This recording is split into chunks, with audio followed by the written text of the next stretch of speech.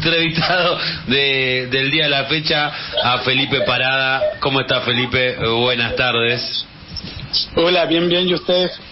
Bien, muy bien, muy bien. Acá escuchando un poco de, del bandido chileno, de, don Joaquín Murieta, ¿no? Que, que, bueno, ahí hablaba, ¿no? De las pistolas como amapolas, un, lindo tema, una linda historia, ¿no? La de para ampliar algún otro día de, de este bandido chileno que fue eh, asesinado en California, pero que nada, yo creo que los bandidos eh, latinoamericanos son son héroes, ¿no? También.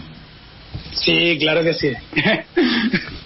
¿Cómo estás? ¿Cómo, cómo, mira, te llamábamos porque eh, estamos ahí acá siguiendo las noticias, como siempre, de, de nuestro de nuestro pueblo hermano chileno y, nos interesa muchísimo, pero muchísimo eh, saber en qué está eh, el tema de la nueva constitución, que si bien eh, mm, si bien o mal no sabemos, está pronta a, no sé si aprobarse. Bueno, quería, que nos pongas un poco en autos para, para hablar de esto.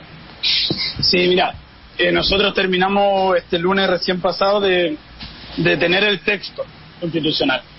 Y y, a mí me tocó, bueno, estar un año entero eh, acompañando el proceso y, para nosotros eh, estamos bien cargados de emociones porque, bueno, primero eh, es un proceso por el que esperamos durante mucho tiempo y segundo también están la, puestas las ilusiones de muchísima gente en este proyecto constitucional.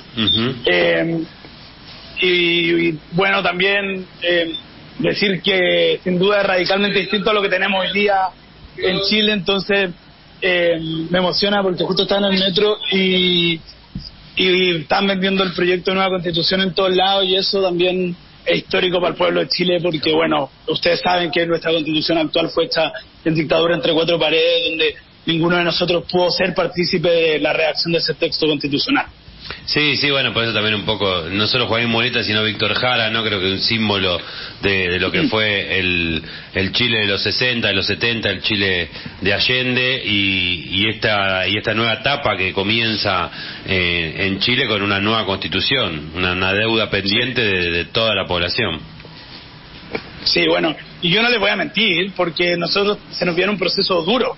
Eh, las encuestas dicen que hoy ganaría el rechazo, eh, nosotros estamos muy ilusionados porque creemos que, que eso lo damos vuelta en la calle, eh, con mucha conversación, pero, pero sin duda también es una alerta. O sea, nosotros vamos a tener que dejar los pies en la calle eh, para que ese pueblo chileno que le dio una amplia mayoría al plebiscito de entrada nos vuelva a respaldar. y ahí nosotros tenemos una tarea muy grande porque, bueno, ustedes sabrán allá también que, que el fake news, que los medios tradicionales, bueno, eh, también los poderosos que, sienten amenazados sus privilegios van a estar. Eh, y ya están haciendo campaña en contra del proyecto constitucional desde el primer día que se instaló la Convención Constitucional. Sí, Felipe, acá Giselle Muñoz te habla. Justo te iba a preguntar cómo estaban operando las fake news. Algunas de las cosas que se pueden leer aquí de este lado de la cordillera es que, bueno, dijeron que se iba a eliminar la institución de carabineros, que se va a poder abortar días u horas antes del nacimiento del bebé. Todas noticias y desinformaciones que, que están afectando el, el proceso democrático ahí en Chile. Claro, como decías, que se iban a eliminar los emblemas patrios, la bandera, el himno bueno, ¿cómo, cómo están pensando que, pueden atacar esto ustedes? Digo, ¿cómo, ¿cómo se le puede hacer llegar a, a la ciudadanía la propuesta concreta? ¿Cómo se entera de, de esta nueva constitución para poder hacer contrapeso a esta desinformación? Sí, bueno, nosotros ayer inscribimos eh, los comandos y, acá en Chile eh, estamos muy, eh, muy contentos porque logramos tener eh, un comando unitario de las fuerzas políticas de izquierda, de centroizquierda, eh, organizaciones sociales y políticas que, que, vamos a concurrir todos juntos en una campaña y eso también eh, hace que la gente vuelva también a esperanzarse, ¿no? Porque muchas veces también la gente se aburre porque nosotros mismos nos estamos peleando todo el tiempo y, y como perdemos tiempo peleándonos no somos capaces de salir a explicar eh, lo bueno que es nuestro texto constitucional y, y, ahí estamos, o sea, estamos muy contentos, ayer partió la campaña y, y lo vamos eh, a dar todo eh, y también yo creo que, que esta, esto lo vamos a cambiar, esta sensación de triunfo del rechazo la vamos a cambiar en la conversación del día a día con, con la gente. Estamos hablando con Felipe Parada, un militante eh, joven de, de Chile, eh, es ha sido protagonista de todas las, protestas en, Chile el 18 de octubre. Que tanto seguimos desde acá, con tanto interés. Eh, Felipe, Emiliano, ¿cómo estás? Eh, bien, Emiliano. Sabes que estaba escuchándote y quería rescatar algunas cosas que quedan ahí eh, que son, son interesantes. Una es que vos recién decías, ¿no? La fake news o la reacción y demás, ¿no? Yo tengo la sensación de que cuando uno eh, va por un camino que a ellos no les gusta es porque hay que ir por ese camino, por, por, primer medida. Y la otra es que si hay que pelear en la calle es porque es una lucha que vale la pena. Entonces, es, eh, a veces uno lo ve como un sacrificio que va a tener que hacer, y creo que usted lo sabe mejor que nadie, porque vos te hiciste en la, a la política, pero digo, nosotros que en la Argentina, que también tenemos como Chile una tradición de lucha en la calle y que los, logros se han conquistado con el cuerpo y con la mente y con la sangre de los compañeros y las compañeras, vemos esta, esta pelea que están haciendo ustedes, primero que eh, como una pelea que vale la pena y que es histórica, y tenemos clarísimo eh, desde Argentina cualquiera que, que haya tenido cualquier contacto con la política de Latinoamérica sabe que esa constitución es la famosa constitución de Pinochet, que lo impunidaba a él, que le daba el, cargo de por vida y toda la senaduría y todos los demás. Pero bueno, vayan a fondo, peleen la muerte porque después no podés hacer una constitución cada 10 años, ¿viste? Entonces está buenísimo que le peguen con todo, pateen en la calle, te, nos mandamos toda la fuerza de acá por esa, esa pelea. No, muchas gracias y, sin duda también eh, trascender los muros de, de nuestra frontera nos ayudan también a tener a, a compañeros también acompañando este proceso que también va a ser súper importante porque al final del día, eh, cual sea el resultado del 4 de septiembre, nosotros vamos a requerir eh, de una fuerza eh, latinoamericana que nos acompañe en este proceso porque, o sea, si ganamos hay que implementar y, y en eso también está siempre bueno mirar al lado lo que está hecho, cómo lo han hecho eh, pero si no ganamos, también eh, se vienen tiempos difíciles para Chile. Va, no, no va a haber un clamor popular que va a desaparecer. Eh, la gente no se va a quedar en sus casas. este es un proceso constituyente que no tiene vuelta atrás. O sea, no hay posibilidad alguna en nuestro país que la constitución de Pinochet y la dictadura sigan vigentes. Felipe, ¿y a qué atribuís esta esta, este cambio, si querés, de, de opinión de la población. Digo, eh, 2019 es cuando empieza todo, toda esta, si querés, eh, revueltas o revolución o, cambios y llegamos quizás eh, en el medio con elecciones, con, buenos resultados, pero ahora cuando hay que dar como el, paso final, si se quiere, de, este camino que, que se empezó allá por 2019, como que no, no llega. Sí, mira, yo, yo diría que hay tres elementos. Uno es la desinformación, eh, lo segundo tiene que ver con la resistencia al cambio y, y lo tercero es que eh, también la convención constitucional y subconvencionales yo creo que, que en algunos momentos no estuvieron a la altura del proceso y más bien eh, fueron a la convención a, a em, ¿cómo decirlo de cierta manera? a a, levantar eh, sus revanchas personales eh, y no poniendo en el centro eh, las cosas que le hacen más, sentido a la ciudadanía.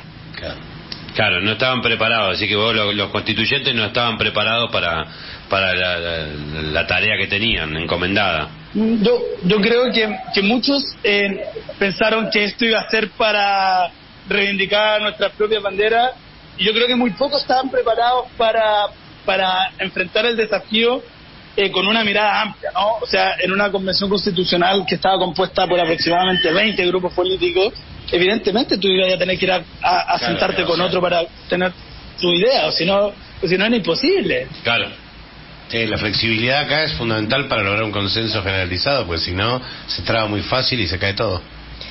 No, claro, de hecho, de hecho, muchos son muy críticos del, del quórum de los dos tercios. Yo creo que eso fue virtuoso para el resultado final de la convención. Mira. Felipe, y ahora que, mencionas el funcionamiento de la convención, eh, una de, los aspectos creo que, más importantes fue que se estableció como un órgano paritario y la primera presidenta fue Elisa Loncón Antileo, una mujer mapuche. ¿Esto marcó un cambio de paradigma en la política en Chile? Mira, yo creo que, que el tema de la plurinacionalidad, eh, a ver, llegó para quedarse pero yo tendería, mirando los resultados, la encuesta, los números, la, la percepción como ciudadana común, yo creo que todavía no, no, no logra permear. Eh, no, no sé si le hace sentido mucho a la ciudadanía porque más bien lo que se instaló o lo que se quiere creer es que es que vamos a tener dos estados eh, con autonomía eh, como y eso y eso yo creo que todavía no termina como de cuajar en la sociedad chilena. Y le debe asustar el cuco que inventaron de Bolivia también no sí o sea sin duda. lo que dice lo que dicen es que nuestra constitución es bolivariana. Bueno. Claro. Eh, y, y ahí con, con a ver, eh, la- el pueblo chileno ha aceptado eh, una constitución, si querés, de, de un golpe de Estado, porque no, no es que ha- había sido constituida, o sea, los cambios que se realizaron durante eh, el gobierno de facto de, de Augusto Pinochet. Digo, Gabriel Boric, ¿cómo ves que está apoyando estas iniciativas? ¿Ves que está siendo bombardeado por los medios? ¿Puede él hacer algún cambio eh, sustancial respecto a esto? o sea Gabriel Boric necesita de la nueva constitución para hacer realidad su programa de gobierno Claro. Eh, de cierta manera el gobierno se la juega toda en este plebiscito también, Eh, aunque algunos han intentado separar eh, eh, el, el- el trabajo del gobierno con el resultado del plebiscito. Yo creo que, que con el resultado eh, fracasado del, del proceso constituyente le hace mucho daño al gobierno Gabriel Boric. Claro, y recordar a los oyentes, ¿cuándo es este plebiscito? ¿Cuándo se vota? El 4 de septiembre.